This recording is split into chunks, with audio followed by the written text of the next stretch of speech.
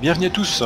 Un épisode un petit peu spécial des Staff Live sur un jeu qui s'appelle Pass of Exile.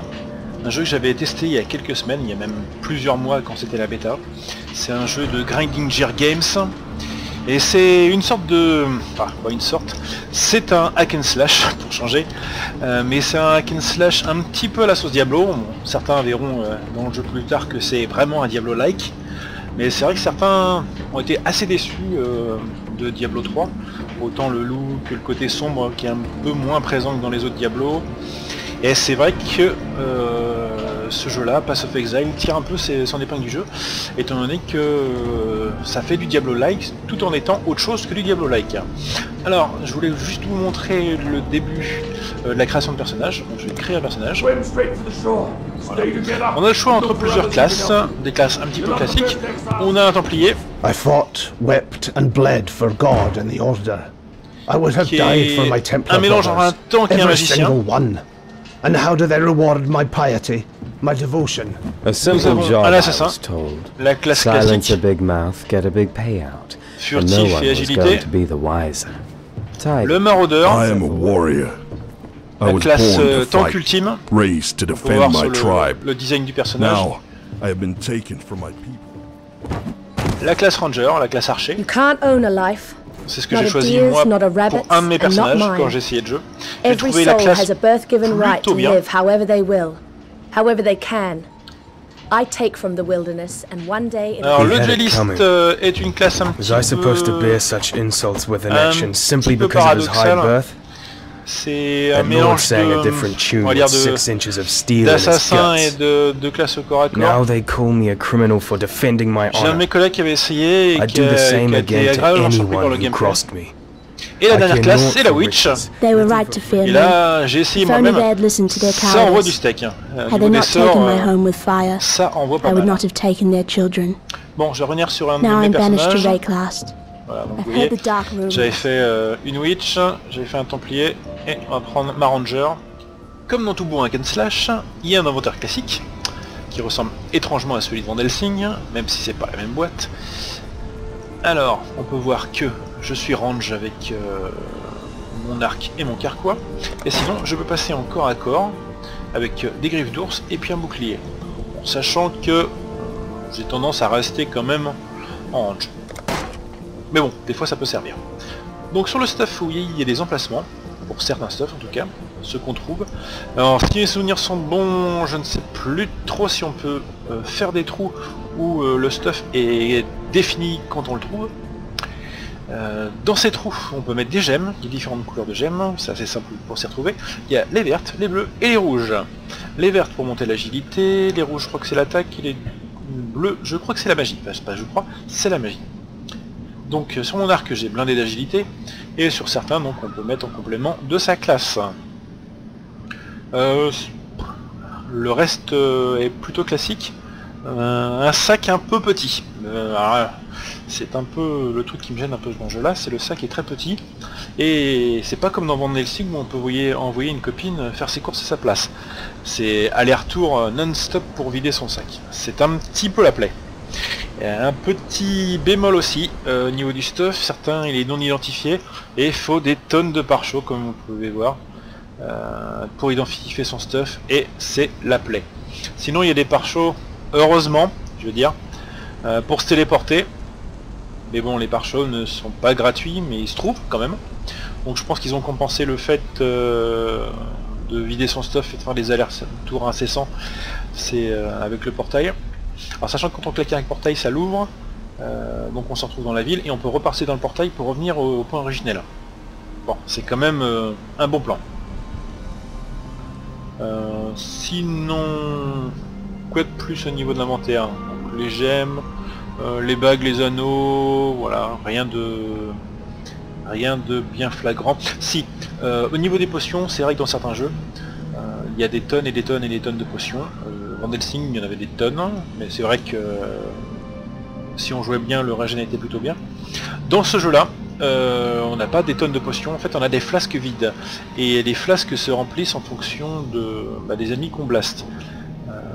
Par exemple, la, jauge de vie, quand on blaste les, les ennemis, elle se remplit. Je vais vous montrer.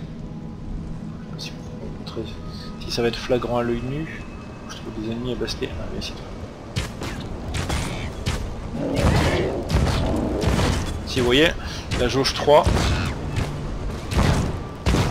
de vie, elle se remplit. L'éternel souci dans Pass of Exile, c'est d'être full bag. Quand je dis éternel souci, hop là Et on regarde, on n'a vraiment pas assez de place. C'est juste dramatique.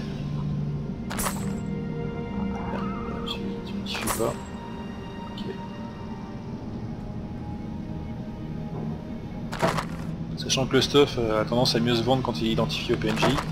On va savoir pourquoi. Et euh, Ah le système de gestion de, de place est très mal fait. C'est euh, très mal pensé.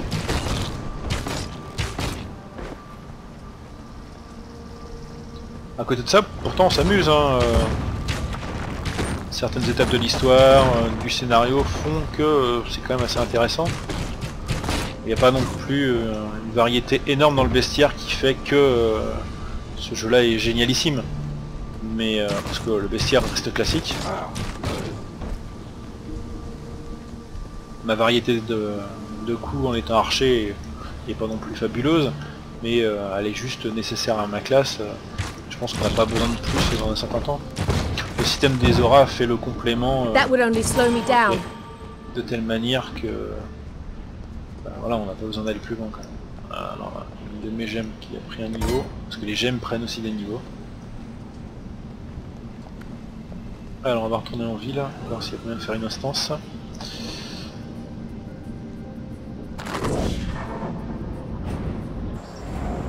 Si je me souviens comment ça marche, on voit déjà ce vidéo au niveau du PNJ.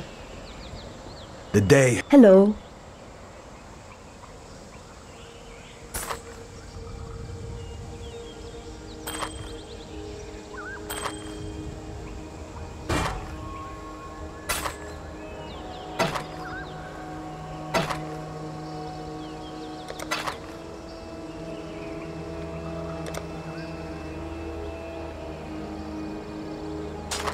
Non, en plus, euh, j'ai un item de quête euh, qui me prend déjà 4 cases, le truc qui sert à rien. Le système pour faire des instances est assez simple, hein, donc on va avoir une sorte de panneau dans certaines villes. Il suffit de rejoindre, on regarde là où c'est presque faux ou pas. Par exemple là. Voilà. Donc ça m'a ouvert. Ça m'a un panneau. Je crois que c'est là. Ouais. On rentre. Ok. Voilà.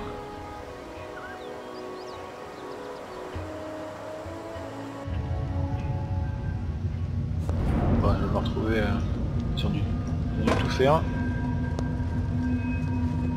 Alors les donjons euh, classiques dans les Diablo-like. Des cadavres, des zombies, des cadavres, des zombies. Parfois des ghouls et des araignées.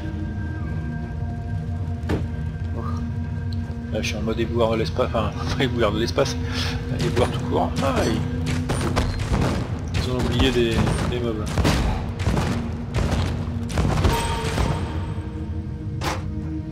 Super, j'ai trouvé du stuff.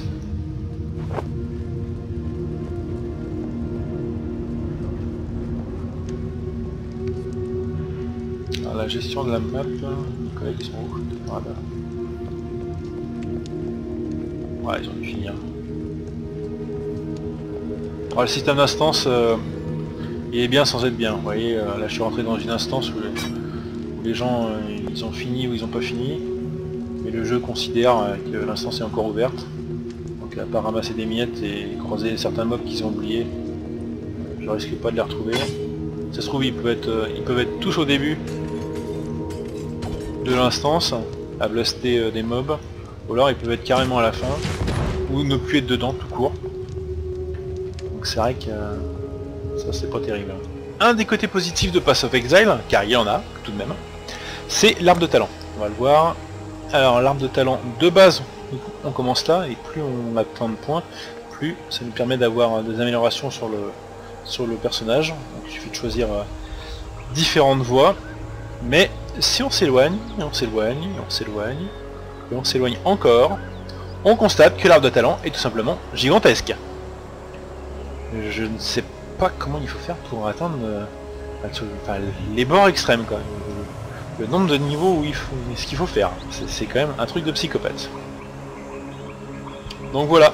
Au niveau de la complexité de l'arbre de talent, j'avoue, là il y a quand même du travail. Peut-être trop de travail. Parce que là c'est peut-être un petit peu exagéré. Mais tout de même, c'était à noter. euh, la gestion de l'arbre de talent est quand même un des points forts de ce jeu là. C'est la fin de cette vidéo sur Pass of Exile. Donc un jeu qui reste free to play, euh, qu'on a envie d'essayer ou de ne pas essayer, pour les amateurs du genre. Personnellement je pense que j'en ai fait le tour et que les défauts inhérents au jeu vont faire que j'aurais pas envie de m'attarder, malheureusement. Tiens, collègue a un level. J'espère que au moins ça vous aura présenté le jeu si vous ne le connaissiez pas du tout. Ou si vous aviez vu euh, le nom du jeu et euh, vous avez hésité pour savoir si vous vouliez essayer ce jeu. Moi personnellement j'en ai été trop déçu pour, euh, pour m'y intéresser bien plus loin. On se retrouve bientôt sur Estaf Live